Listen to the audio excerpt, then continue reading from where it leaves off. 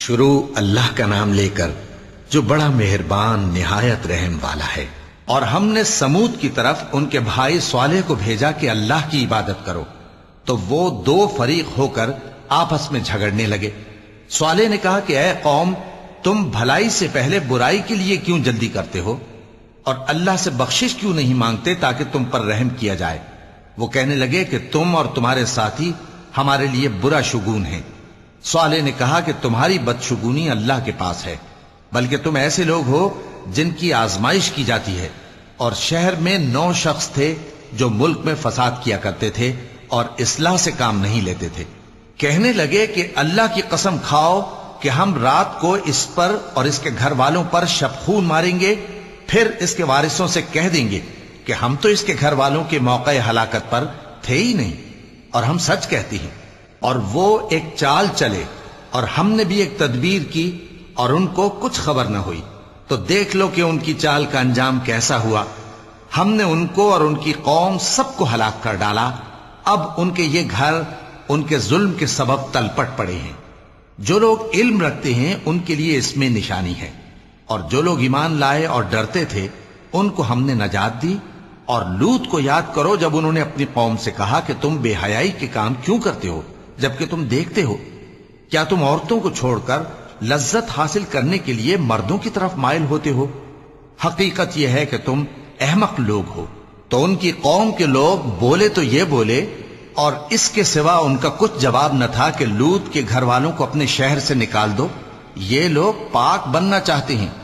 तो हमने उनको और उनके घर वालों को नजात दी, मगर उनकी बीवी, कि उसकी निस्बत हमने मुकर्र कर रखा था कि वो पीछे रहने वालों में होगी। और हमने उन पर मे बरसाया, सो जो मे उन लोगों पर बरसा, जिनको मुतनबे कर दिया गया था, बुरा था। कह दो कि सब तारीफ़ अल्लाह ही के लिए है और उसके उन बंदों पर सलाम है, जिसको उसने मुंतखब फरमाया, भला अल्लाह बेहतर है या वो जिनको ये उसका शरीक बनाते हैं? भला किसने आसमानों और ज़मीन को पैदा किया और किसने तुम्हारे लिए आसमान से पानी बरसाया? फिर हमने उससे सरसब्ज बाग उगाए तुम्हारा काम तो न था कि तुम उनके दरख्तों को उगाते तो क्या अल्लाह के साथ कोई और भी माबूद है? हरगिज नहीं, बल्कि ये लोग रस्ते से अलग हो रहे हैं। भला किसने ज़मीन को करारगाह बनाया और उसके बीच नहरें बनाई और उसके लिए पहाड़ बनाए, और किसने दो दरियाओं के बीच ओट बनाई? ये सब कुछ अल्लाह ने बनाया तो क्या अल्लाह के साथ कोई और माबूद भी है? हरगिज नहीं, बल्कि उनमें अक्सर इल्म नहीं रखते। भला कौन बेकरार की इल्तिजा कबूल करता है जब वो उससे दुआ करता है? और कौन उसकी तकलीफ़ को दूर करता है? और कौन तुमको ज़मीन में अगलों का जानशी बनाता है? ये सब कुछ अल्लाह करता है। तो क्या अल्लाह के साथ कोई और मबूद भी है? हरगिज नहीं, मगर तुम बहुत कम गौर करते हो। भला कौन तुमको जंगल और दरिया के अंधेरों में रास्ता बताता? और कौन हवाओं को अपनी रहमत के आगे खुशखबरी बनाकर भेजता है? ये सब कुछ अल्लाह करता है तो क्या अल्लाह के साथ कोई और मबूद भी है? हरगिज नहीं, ये लोग जो शिरक करते हैं, अल्लाह की शान उससे बुलंद है। भला कौन खलकत को पहली बार पैदा करता, फिर उसको दोबारा पैदा करेगा? और कौन तुमको आसमान और ज़मीन से रिस्क देता है? ये सब कुछ अल्लाह करता है तो क्या अल्लाह के साथ कोई और मबूद भी है? हरगिज नहीं। कह दो कि मुशरिको अगर तुम सच्चे हो तो दलील पेश करो। कह दो कि जो लोग आसमानों और ज़मीन में हैं, अल्लाह के सिवा गैब की बातें नहीं जानते, और न ये जानते हैं कि कब ज़िंदा करके उठाए जाएँगे, बल्कि आखिरत के बारे में उनका इल्म खत्म हो चुका है, बल्कि ये उसकी तरफ़ से शक में है, बल्कि ये उससे अंधे हो रहे हैं। और जो लोग काफिर हैं, कहते हैं कि जब हम और हमारे बाप दादा मिट्टी हो जाएँगे तो क्या हम फिर कब्रों से निकाले जाएँगे? ये वादा हमसे और हमारे बाप दादा से पहले से होता चला आया है। कहाँ का उठना और कैसी कयामत? ये तो सिर्फ़ पहले लोगों की कहानियाँ हैं। कह दो कि मुल्क में चलो फिरो, फिर देखो कि गुनागारों का अंजाम क्या हुआ है। और उनके हाल पर गम न करना और न उन चालों से जो ये कर रहे हैं तंग दिल होना। और कहते हैं कि अगर तुम सच्चे हो तो ये वादा कब पूरा होगा? कह दो कि जिस अजाब के लिए तुम जल्दी कर रहे हो शायद उसमें से कुछ तुम्हारे नज़दीक आ पहुँचा हो और तुम्हारा परवरदिगार तो लोगों पर फजल करने वाला है, लेकिन उनमें से अक्सर शुक्र नहीं करते। और जो बातें उनके सीनों में पोशीदा होती हैं और जो काम वो ज़ाहिर करते हैं, तुम्हारा परवरदिगार उन सबको जानता है। और आसमानों और ज़मीन में कोई पोशीदा चीज़ नहीं है, मगर यह कि वो एक किताब रोशन में लिखी हुई है। बेशक ये कुरान बनी इसराइल के सामने अक्सर बातें जिनमें वो इख्तिलाफ करते हैं, बयान कर देता है। और बेशक ये मोमिनों के लिए हिदायत और रहमत है। तुम्हारा परवरदिगार कयामत के रोज उनमें अपने हुक्म से फैसला कर देगा और वो गालिब है, इल्म वाला है। तो अल्लाह पर भरोसा रखो, तुम तो साफ़ हक पर हो। कुछ शक नहीं कि तुम मुर्दों को बात नहीं सुना सकते और न बहरों को जबकि वो पीठ फेर लें, आवाज़ सुना सकते हो। और न अंधों को गुमराही से निकालकर रास्ता दिखा सकते हो। तुम तो उन्हीं को सुना सकते हो जो हमारी आयतों पर ईमान लाते हैं। फिर वो फर्मा बरदार हो जाते हैं। और जब उनके बारे में अजाब का वादा पूरा होगा तो हम उनके लिए ज़मीन में से एक जानवर निकालेंगे जो उनसे बातें करेगा। ये हम इसलिए करेंगे कि लोग हमारी आयतों पर ईमान नहीं लाते थे। और जिस रोज हम हर उम्मत में से एक बड़े गिरोह को जमा करेंगे जो हमारी आयतों की तकजीब करते थे। फिर उनकी जमात बंदी की जाएगी। यहाँ तक कि जब सब आ जाएँगे तो अल्लाह फरमाएगा कि क्या तुमने मेरी आयतों को झुटला दिया था? हालाँकि तुमने अपने इल्म से उनका अहाता तो किया ही ना था। भला तुम क्या करते रहते थे? और उनके जुल्म के सबब, उनके हक में वादा अजाब पूरा होकर रहेगा तो वो बोल भी ना सकेंगे। क्या उन्होंने नहीं देखा कि हमने रात को इसलिए बनाया है कि उसमें आराम करें? और दिन को रोशन बनाया है कि उसमें काम करें। बेशक इसमें मोमिन लोगों के लिए निशानियाँ हैं। और जिस रोज सूर फूका जाएगा तो जो लोग आसमानों में और जो ज़मीन में हैं, सब घबरा उठेंगे। मगर वो जिसे अल्लाह चाहे और सब उसके पास आजिज होकर चले आएँगे। और तुम पहाड़ों को देखते हो तो ख्याल करते हो कि मज़बूत जमे हुए हैं। मगर वो उस रोज इस तरह उड़ते फिरेंगे जैसे बादल। ये अल्लाह की कारीगरी है जिसने हर चीज़ को मज़बूत बनाया। बेशक वो तुम्हारे सब अफाल से बाखबर है। जो शख्स नेकी लेकर आएगा तो उसके लिए उससे बेहतर बदला तैयार है। और ऐसे लोग उस रोज घबराहट से बेखौफ होंगे। और जो बुराई लेकर आएगा तो ऐसे लोग औंधे मुँह दोजख में डाल दिए जाएँगे। तुमको तो उन्हीं अमाल का बदला मिलेगा जो तुम करते रहे हो। कह दो मुझको यही इर्शाद हुआ है कि इस शहर मक्का के मालिक की इबादत करूँ जिसने इसको मोहतरम बनाया है। और हर चीज़ उसी की है। और मुझे यह भी हुक्म हुआ है कि मैं फर्माबरदार रहूँ। और यह भी कि कुरान पढ़ा करूँ। अब जो शख्स राह रास्त इख्तियार करता है तो अपने ही फ़ायदे के लिए इख्तियार करता है। और जो गुमराह रहता है तो कह दो कि मैं तो सिर्फ़ खबरदार करने वाला हूँ। और कहो कि अल्लाह का शुक्र है वो तुमको अनकरीब अपनी निशानियाँ दिखाएगा तो तुम उनको पहचान लोगे। और जो काम तुम करते हो, तुम्हारा परवरदिगार उनसे बेखबर नहीं है। शुरू अल्लाह का नाम लेकर, जो बड़ा मेहरबान, निहायत रहम वाला है, पौसीम मीम। ये किताब रोशन की आयतें हैं, ए पैगंबर, हम तुम्हें मूसा और फिरौन के कुछ हालात, मोमिन लोगों के सुनाने के लिए सही सही सुनाते हैं। कि फिरौन ने मुल्क में सर उठा रखा था और वहाँ के बाशिंदों को गिरोह गिरोह बना रखा था। उनमें से एक गिरोह को यहाँ तक कमज़ोर कर दिया था कि उनके बेटों को जबह कर डालता और उनकी लड़कियों को ज़िंदा रहने देता। बेशक वो मुफसिदों में था। और हम चाहते थे कि जो लोग मुल्क में कमज़ोर कर दिए गए हैं, उन पर एहसान करें और उनको पेशवा बनाएँ और उन्हें मुल्क का वारिस बनाएँ। और मुल्क में उनको कुदरत दें। और फिरौन और हामान और उनके लश्कर को वो चीज़ दिखा दें जिससे वो डरते थे। और हमने मूसा की माँ की तरफ़ वही भेजी कि इसको दूध पिलाओ। फिर जब तुमको इसके बारे में कुछ खौफ पैदा हो तो इसे दरिया में डाल देना और न तो खौफ करना और न रंज करना। हम इसको तुम्हारे पास वापस पहुँचा देंगे और बाद में इसे पैगंबर बना देंगे। सो फिरौन के लोगों ने उसको उठा लिया, इसलिए कि नतीजा यह होना था कि वो उनका दुश्मन और उनके लिए मूजिब गम हो। बेशक फिरौन और हामान और उनके लश्कर गलती पर थे। और फिरौन की बीवी ने कहा कि यह मेरी और तुम्हारी दोनों की आँखों की ठंडक है, इसको कत्ल न करना। शायद यह हमें फ़ायदा पहुँचाए या हम इसे बेटा बना लें। और वो अंजाम से बेखबर थे। और मूसा की माँ का दिल बेकरार हो गया। अगर हम उनके दिल को मज़बूत न कर देते तो करीब था कि वो उस गम को ज़ाहिर कर देती। हम चाहते थे कि वो मोमिनों में रहें। और वालदा मूसा ने उसकी बहन से कहा कि उसके पीछे पीछे चली जा तो वो उसे दूर से देखती रही, और उन लोगों को कुछ खबर न थी। और हमने पहले ही से उस पर दाइयों के दूध हराम कर दिए थे तो मूसा की बहन ने कहा कि मैं तुम्हें ऐसे घर वाले बताऊँ कि तुम्हारे लिए इस बच्चे को पालें और इसकी खैर खाही से परवरिश करें। सो हमने इस तरीक से उनको उनकी माँ के पास वापस पहुँचा दिया, ताकि उनकी आँखें ठंडी हों और वो गम न खाएँ। और मालूम कर लें कि अल्लाह का वादा सच्चा है, लेकिन अक्सर लोग नहीं जानते। और जब मूसा जवानी को पहुँचे और भरपूर जवान हो गए तो हमने उनको हिकमत और इल्म इनायत किया, और हम नेकूकारों को ऐसा ही बदला दिया करते हैं। और वो ऐसे वक्त शहर में दाखिल हुए कि वहाँ के बाशिंदे बेखबर हो रहे थे तो देखा कि वहाँ दो शख्स लड़ रहे थे। एक तो मूसा की कौम का है और दूसरा उनके दुश्मनों में से। तो जो शख्स उनकी कौम में से था, उसने दूसरे शख्स के मुकाबले में जो मूसा के दुश्मनों में से था, मदद तलब की। तो मूसा ने उसको मुक्का मारा और उसका काम तमाम कर दिया। कहने लगे कि यह तो शैतानी काम हुआ। बेशक वो इंसान का दुश्मन है, खुला बहकाने वाला है। बोले कि अय परवरदिगार, मैंने अपने आप पर जुल्म किया, सो तू मुझे बख्श दे तो अल्लाह ने उनको बख्श दिया। बेशक वो बख्शने वाला है, मेहरबान है।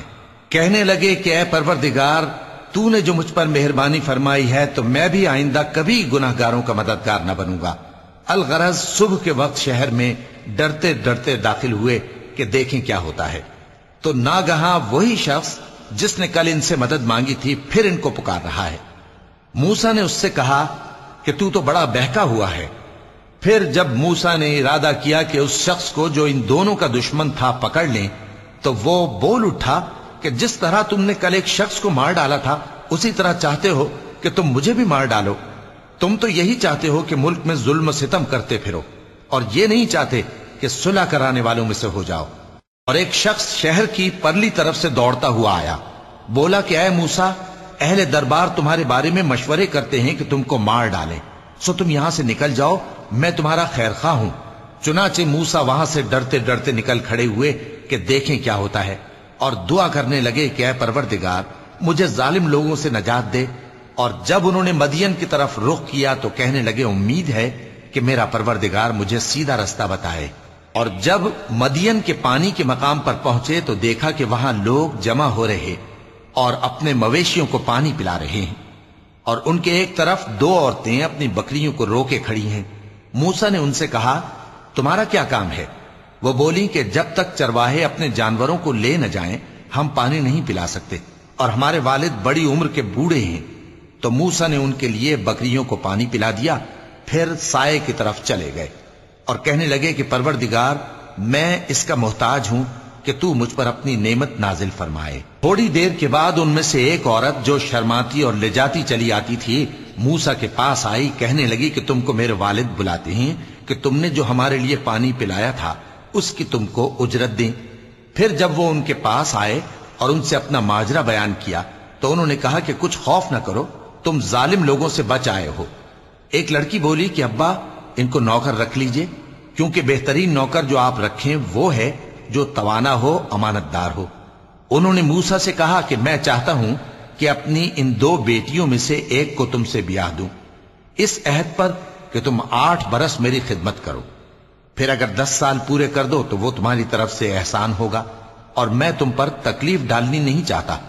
तुम मुझे इंशाला नेक लोगों में पाओगे। मूसा ने कहा कि मुझमें और आप में ये अहद पुख्ता हुआ। मैं जो मुद्दत चाहूँ पूरी कर दूँ, फिर मुझ पर कोई ज्यादती ना हो। और हम जो मुआहिदा करते हैं, अल्लाह उस पर गवाह है। फिर जब मूसा ने मुद्दत पूरी कर दी और अपने घर के लोगों को लेकर चले तो तूर की तरफ़ से आग दिखाई दी। वो अपने घर वालों से कहने लगे कि तुम यहाँ ठहरो, मुझे आग नज़र आई है, शायद मैं वहाँ से रस्ते का कुछ पता लाऊं या आग का अंगारा ले आऊँ ताकि तुम आग तापो। सो जब उसके पास पहुँचे तो मैदान के दाएँ किनारे से एक मुबारक जगह में एक दरख्त में से आवाज़ आई कि, ए मूसा ये मैं हूँ अल्लाह, तमाम जहानों का परवरदिगार। और ये कि अपनी लाठी डाल दो, सो जब उन्होंने देखा कि वो हरकत कर रही है, गोया सांप है तो पीठ फेर कर चल दिए और पीछे मुड़कर भी न देखा। फरमाया, मूसा, आगे आओ और डरो मत। तुम अमन पाने वालों में हो। अपना हाथ गरीबान में डालो तो बगैर किसी ऐप के सफ़ेद रोशन होकर निकल आएगा और खौफ दूर करने की गरज से अपने बाजू को अपनी तरफ़, यानी सीने से मिला लो। ये दो दलीलें तुम्हारे परवरदिगार की तरफ़ से हैं, फिरौन और उसके दरबारियों के लिए। बेशक वो नाफरमान लोग हैं। मूसा ने कहा ए परवरदिगार, उनमें का एक शख्स मेरे हाथ से कत्ल हो चुका है, सो मुझे खौफ है कि वो मुझको मार डालेंगे। और हारून, जो मेरा भाई है, उसकी जबान मुझसे ज़्यादा फंसी है तो उसको मेरे साथ मददगार बनाकर भेज कि मेरी तस्दीक करे। मुझे खौफ है कि वो लोग मेरी तकजीब करेंगे। फरमाया, हम तुम्हारे भाई के ज़रिए तुम्हारे बाजू को मज़बूत करेंगे और तुम दोनों को गलबा देंगे। तो हमारी निशानियों के सबब वो तुम तक पहुँच न सकेंगे। तुम दोनों और जिन्होंने तुम्हारी पैरवी की, वही गालिब रहेंगे। फिर जब मूसा उनके पास हमारी खुली निशानियाँ लेकर आए तो वो कहने लगे कि ये तो जादू है जो इसने बना खड़ा किया है। और ये बातें हमने अपने अगले बाप दादा में तो कभी सुनी नहीं। और मूसा ने कहा कि मेरा परवरदिगार उस शख्स को खूब जानता है जो उसकी तरफ़ से हिदायत लेकर आया है और जिसके लिए आकिबत का घर यानी बहिश्त है। बेशक जालिम कामयाब नहीं होंगे।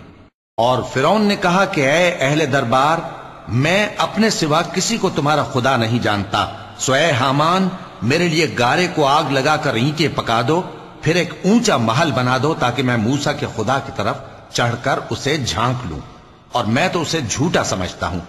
और वो और उसके लश्कर मुल्क में नाहक मगरूर हो रहे थे और ख्याल करते थे कि वो हमारी तरफ़ लौट कर नहीं आएँगे। तो हमने उसे और उसके लश्करों को पकड़ लिया। आखिर हमने उन्हें समंदर में फेंक दिया। सो देख लो कि जालिमों का कैसा अंजाम हुआ। और हमने उनको पेशवा बनाया था। वो लोगों को दोजक की तरफ़ बुलाते थे और कयामत के दिन उनकी मदद नहीं की जाएगी। और इस दुनिया में हमने उनके पीछे लानत लगा दी और वो कयामत के रोज भी बदहालों में होंगे।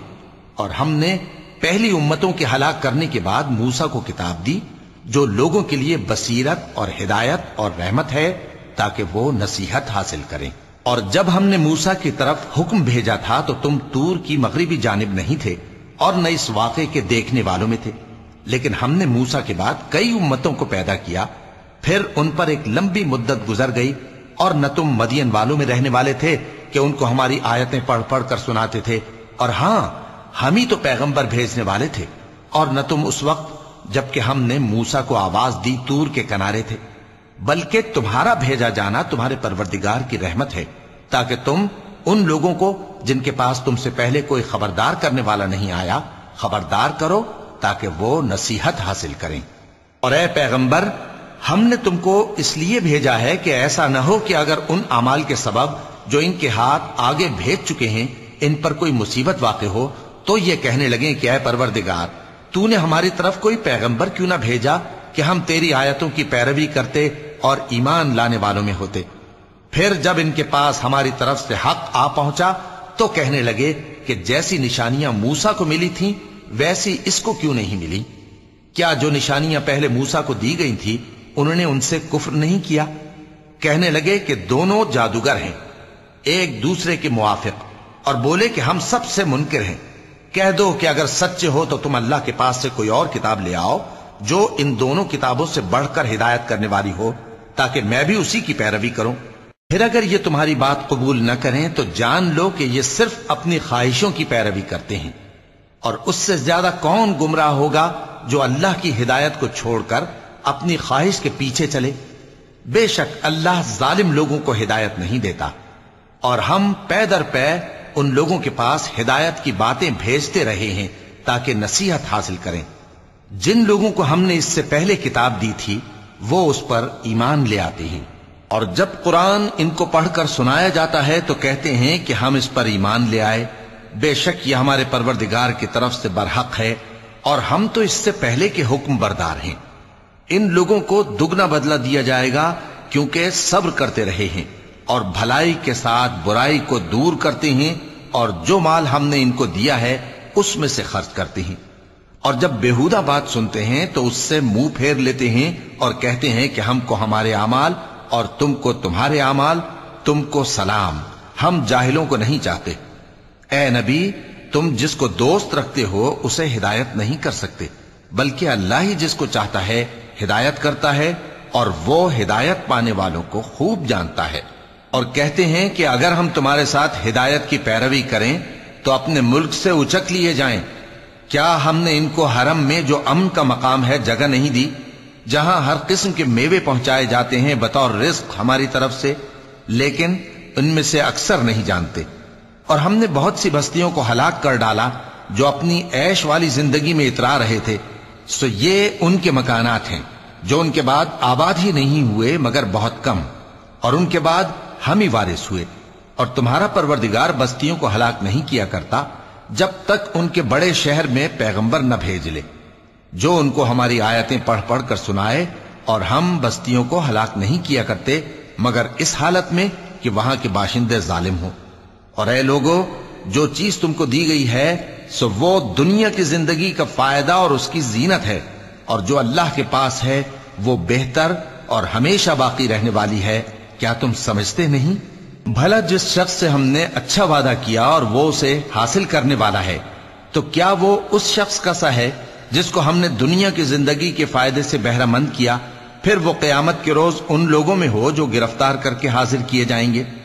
और जिस रोज अल्लाह उनको पुकारेगा, सो कहेगा कि मेरे वो शरीक कहाँ हैं, जिनका तुम्हें दावा था? तो जिन लोगों पर अजाब का हुक्म साबित हो चुका होगा, वो कहेंगे कि ऐ हमारे परवरदिगार, ये वो लोग हैं जिनको हमने गुमराह किया था, और जिस तरह हम खुद गुमराह हुए थे, उसी तरह हमने इनको गुमराह किया था। अब हम तेरी तरफ़ मुतवजे होकर इनसे बेजार होते हैं। ये हमें नहीं पूछते थे। और कहा जाएगा कि अपने शरीकों को बुलाओ, सो वो उनको पुकारेंगे तो वो उनको जवाब न दे सकेंगे। और जब अजाब को देख लेंगे तो तमन्ना करेंगे कि काश वो हिदायत याब होते। और जिस रोज अल्लाह उनको पुकारेगा और कहेगा कि तुमने पैगंबरों को क्या जवाब दिया था तो उस रोज उन पर खबरें बंद हो जाएँगी, फिर वो आपस में कुछ भी न पूछ सकेंगे। सो रहा वो शख्स जिसने तौबा की और ईमान लाया और अमल नेक किए तो उम्मीद है कि वो कामयाब होने वालों में हो। और तुम्हारा परवरदिगार जो चाहता है पैदा करता है। और जिसे चाहता है बरगुजीदा कर लेता है। इनको इसका इख्तियार नहीं है।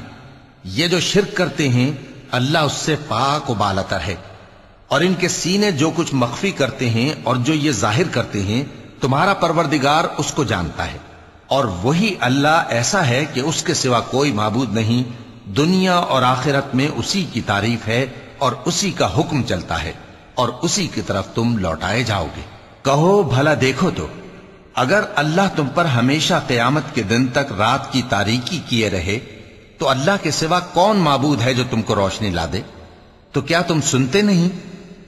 कहो कि भला देखो तो अगर अल्लाह तुम पर हमेशा कयामत तक दिन किए रहे तो अल्लाह के सिवा कौन माबूद है कि तुमको रात ला दे जिसमें तुम आराम करो? तो क्या तुम देखते नहीं? और उसने अपनी रहमत से तुम्हारे लिए रात को और दिन को बनाया ताकि तुम उसमें आराम करो और उसमें उसका फजल तलाश करो और ताकि शुक्र करो। और जिस दिन वो उनको पुकारेगा तो कहेगा कि मेरे वो शरीक जिनका तुम्हें दावा था कहाँ है? और हम हर एक उम्मत में से एक गवाह निकाल लेंगे। फिर कहेंगे कि अपनी दलील पेश करो तो वो जान लेंगे कि सच बात अल्लाह की है और जो कुछ वो इफ्तरा किया करते थे उनसे जाता रहेगा। कारून मूसा की कौम में से था।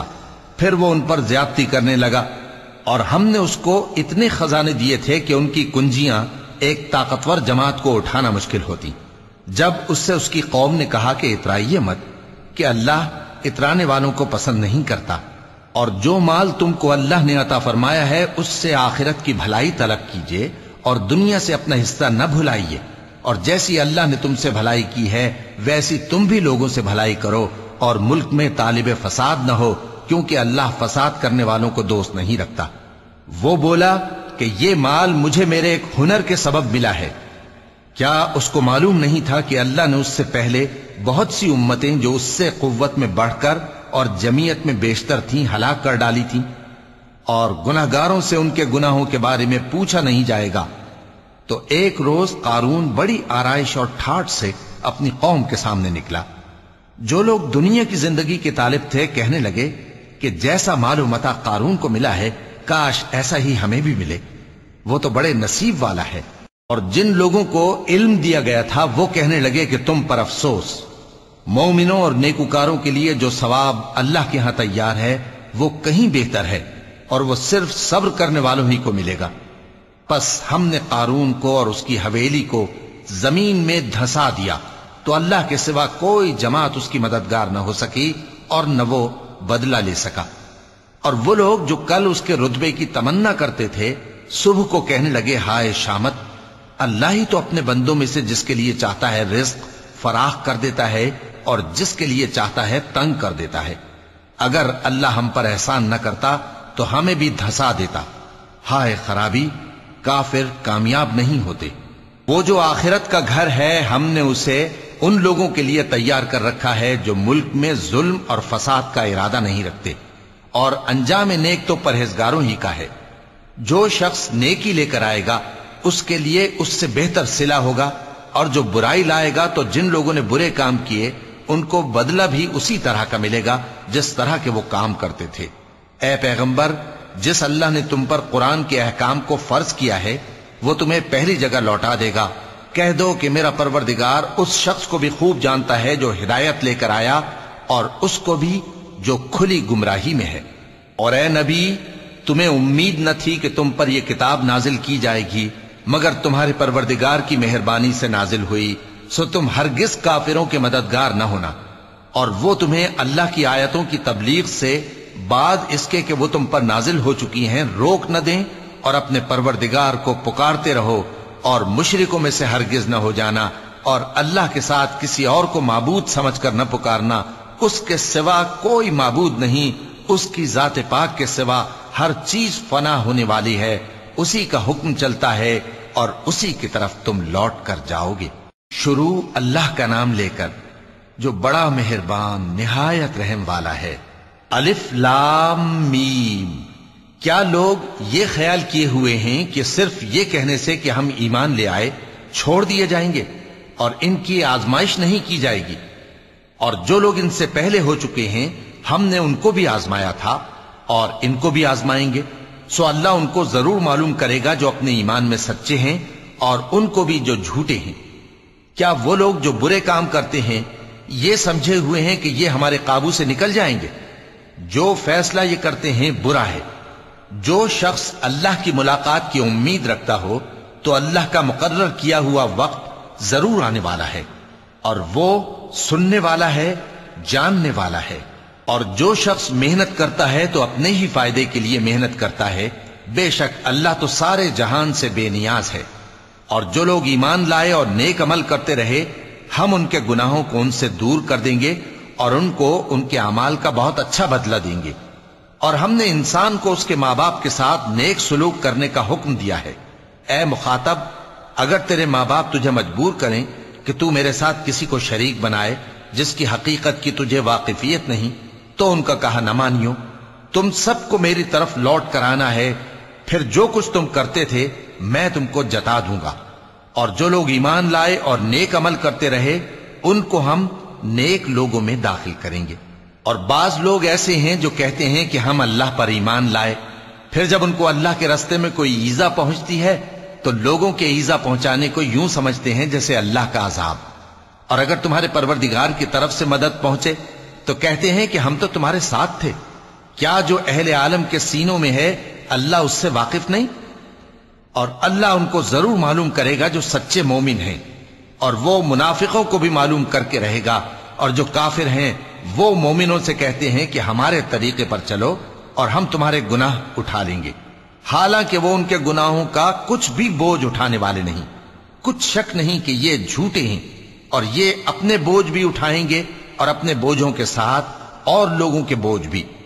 और जो झूठ ये लोग घड़ते रहे, कयामत के दिन उनकी इनसे ज़रूर पुरसिश होगी। और हमने नूह को उनकी कौम की तरफ़ भेजा तो वो उनमें पचास बरस कम हज़ार बरस रहे। फिर उन लोगों को तूफ़ान के अजाब ने आ पकड़ा और वो जालिम थे। फिर हमने नूह को और कश्ती वालों को नजात दी और कश्ती को अहले आलम के लिए निशानी बना दिया। और इब्राहिम को याद करो, जब उन्होंने अपनी कौम से कहा कि अल्लाह की इबादत करो और उससे डरो, अगर तुम समझ रखते हो तो ये तुम्हारे हक में बेहतर है। तुम तो अल्लाह को छोड़कर बुतों को पूजते और झूठी बातें बनाते हो। जिन लोगों को तुम अल्लाह के सिवा पूजते हो, वो तुमको रिस्क देने का इख्तियार नहीं रखते। बस अल्लाह ही के यहाँ से रिस्क तलब करो और उसी की इबादत करो और उसी का शुक्र करो। उसी की तरफ़ तुम लौट कर जाओगे।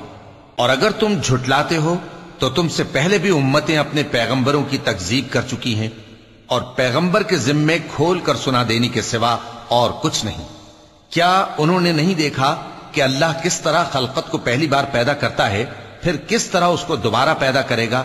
यह अल्लाह को आसान है।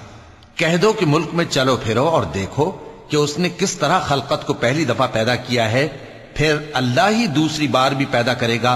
बेशक अल्लाह हर चीज़ पर कादिर है। वो जिसे चाहे अजाब दे और जिस पर चाहे रहम करे और उसी की तरफ़ तुम लौटाए जाओगे। और तुम उसको न ज़मीन में आजिज कर सकते हो, न आसमान में। और न अल्लाह के सिवा तुम्हारा कोई दोस्त है और न मददगार। और जिन लोगों ने अल्लाह की आयतों से और उसके सामने हाजिर होने से इनकार किया, वो मेरी रहमत से ना उम्मीद हो गए हैं और उनको दर्द देने वाला अजाब होगा। तो उनकी कौम के लोग जवाब में बोले तो ये बोले कि इसे मार डालो या जला दो। मगर अल्लाह ने उनको आग में जलने से बचा लिया। जो लोग ईमान रखते हैं, उनके लिए इसमें निशानियाँ हैं। और इब्राहिम ने कहा कि तुम जो अल्लाह को छोड़कर बुतों को ले बैठे हो तो दुनिया की ज़िंदगी में बाहम दोस्ती के लिए, मगर फिर क्यामत के दिन एक दूसरे की दोस्ती से इनकार कर दोगे और एक दूसरे पर लानत भेजोगे और तुम्हारा ठिकाना दोजख होगा और कोई तुम्हारा मददगार न होगा। बस उन पर एक लूत ईमान लाए और इब्राहिम कहने लगे कि मैं अपने परवरदिगार की तरफ़ हिजरत करने वाला हूँ। बेशक वो गालिब है, हिकमत वाला है।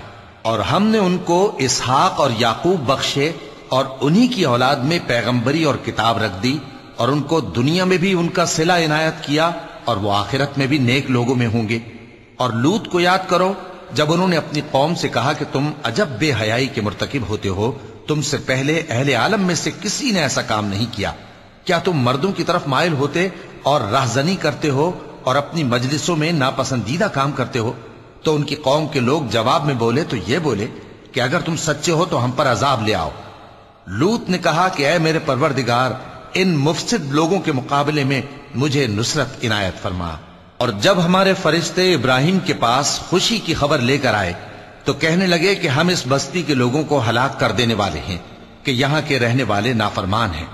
इब्राहिम ने कहा कि इसमें तो लूत भी हैं। वो कहने लगे कि, जो लोग यहाँ रहते हैं, हमें सब मालूम है। हम उनको और उनके घर वालों को बचा लेंगे बजुज उनकी बीवी के कि वो पीछे रहने वालों में होगी। और जब हमारे फरिश्ते लूत के पास आए तो वो उनकी वजह से नाखुश और तंग दिल हुए। फरिश्तों ने कहा, कुछ खौफ न कीजिए और न रंज कीजिए। हम आपको और आपके घर वालों को बचा लेंगे, मगर आपकी बीवी के पीछे रहने वालों में होगी। हम इस बस्ती के रहने वालों पर इस सबब से कि ये बदकिरदारी करते रहे हैं, आसमान से अजाब नाजिल करने वाले हैं। और हमने समझने वाले लोगों के लिए इस बस्ती की एक खुली निशानी छोड़ दी और मदियन की तरफ़ उनके भाई शुएब को भेजा। तो उन्होंने कहा, ए कौम, अल्लाह की इबादत करो और रोज आखिर के आने की उम्मीद रखो और मुल्क में फसाद न मचाओ। मगर उन्होंने उनको झूठा समझा। सो उनको जलजले के अजाब ने आ पकड़ा और वो अपने घरों में औंधे पड़े रह गए। और आद और समूद को भी हमने हलाक कर दिया, चुनाचे उनके वीरान घर तुम्हारी आँखों के सामने हैं। और शैतान ने उनके अमाल उनको आरास्ता कर दिखाए और उनको सीधे रस्ते से रोक दिया। हालाँकि वो देखने वाले लोग थे और कारून और फिरौन और हामान को भी हलाक कर दिया और उनके पास मूसा खुली निशानियाँ लेकर आए तो वो मुल्क में मगरूर हो गए। और वो हमारे काबू से निकल जाने वाले न थे तो हमने सबको उनके गुनाहों के सबब पकड़ लिया। सो उनमें कुछ तो ऐसे थे जिन पर हमने पत्थरों का मेह बरसाया और कुछ ऐसे थे जिनको चिंगाड़ ने आ पकड़ा। और कुछ ऐसे थे जिनको हमने ज़मीन में धसा दिया, और कुछ ऐसे थे जिनको गर्क कर दिया। और अल्लाह ऐसा न था कि उन पर जुल्म करता, लेकिन वही अपने आप पर जुल्म करते थे। जिन लोगों ने अल्लाह के सिवा औरों को कारसाज बना रखा है, उनकी मिसाल मकड़ी की सी है कि वो भी एक तरह का घर बनाती है, और कुछ शक नहीं कि तमाम घरों से कमज़ोर मकड़ी का घर है। काश ये इस बात को जानते। ये जिस चीज़ को अल्लाह के सिवा पुकारते हैं खा वो कुछ ही हो। अल्लाह उसे जानता है और वो गालिब है, हिकमत वाला है। और ये मिसालें हम लोगों के समझाने के लिए बयान करते हैं और इसे तो अहले दानिश ही समझते हैं। अल्लाह ने आसमानों और ज़मीन को हिकमत के साथ पैदा किया है। कुछ शक नहीं कि ईमान वालों के लिए इसमें निशानी है। ए नबी, ये किताब जो तुम्हारी तरफ़ वही की गई है, इसको पढ़ा करो और नमाज़ के पाबंद रहो। कुछ शक नहीं कि नमाज़ बेहयाई और बुरी बातों से रोकती है। और अल्लाह का ज़िक्र सबसे बड़ा है और जो कुछ तुम करते हो, अल्लाह उसे जानता है। और अहले किताब से बहस न करो, मगर ऐसे तरीक से कि निहायत अच्छा हो। हाँ, जो उनमें से बेइंसाफी करें, उनके साथ उसी तरह मुजादला करो। और कह दो कि जो किताब हम पर उतरी और जो किताबें तुम पर उतरी, हम सब पर ईमान रखते हैं। और हमारा और तुम्हारा मबूद एक ही है। और हम उसी के फर्मा बरदार हैं। और इसी तरह हमने तुम्हारी तरफ़ किताब उतारी है तो जिन लोगों को हमने किताबें दी थी, वो इस पर ईमान ले आते हैं, और बास इन मुशरिक लोगों में से भी इस पर ईमान ले आते हैं। और हमारी आयतों से वही इनकार करते हैं, जो हैं ही काफिर। और तुम इससे पहले कोई किताब नहीं पढ़ते थे, और न उसे अपने हाथ से लिख ही सकते थे। ऐसा होता तो अहले बातिल ज़रूर शक करते, बल्कि ये रोशन आयती हैं जिन लोगों को इल्म दिया गया है, उनके सीनों में महफूज और हमारी आयतों से वही लोग इनकार करते हैं जो बेइंसाफ हैं। और काफिर कहते हैं कि इस पर इसके परवरदिगार की तरफ़ से निशानियाँ क्यों नाजिल नहीं हुई? कह दो कि निशानियाँ तो अल्लाह ही के पास हैं, और मैं तो खुल्लम खुल्ला खबरदार करने वाला हूँ। सदक़ल्लाहुल अज़ीम